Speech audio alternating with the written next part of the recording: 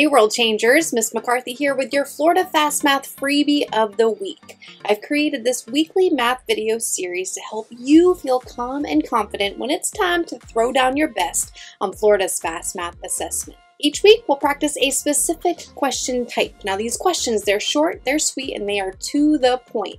And at the end of this episode, I will point you in the direction for some more in-depth videos if you're interested. The focus this week is, drumroll,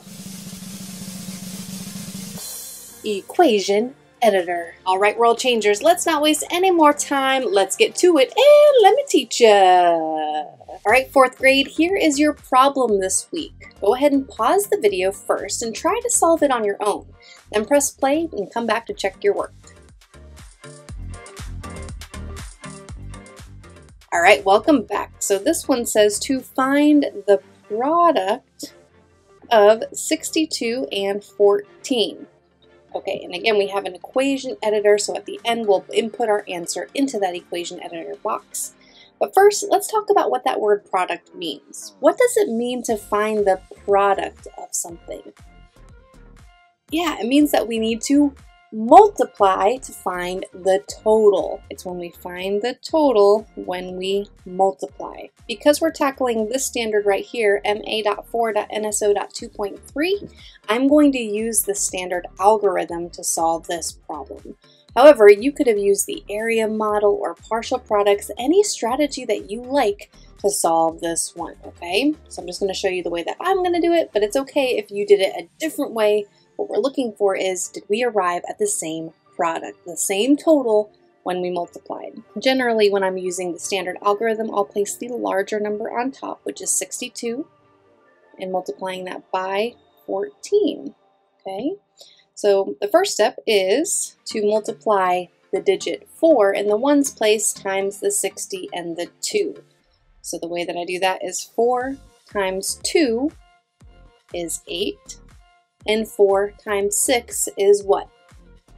24. So the 24 comes down because that's our last digit there in the tens place.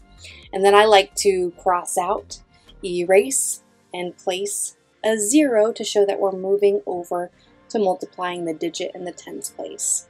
So cross out. If I had any regrouped numbers up there, I call them regroupies. I would erase those.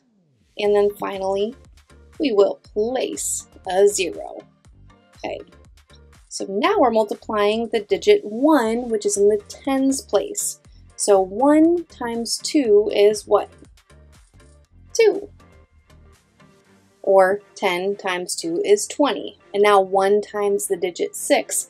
1 times 6 is 6. Or 10 times 60 is 600. So 620 there.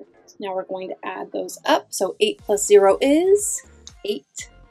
4 plus 2 is 6. Good. And 2 plus 6 is what? 8. So our product, our total when we multiplied is 868. And that's the answer that we need to place over here.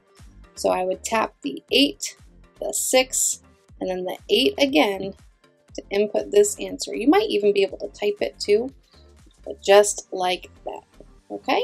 Feel free to pause the video or rewind and make any notes that you need to make, and then let's close out this Fast Math freebie for the week.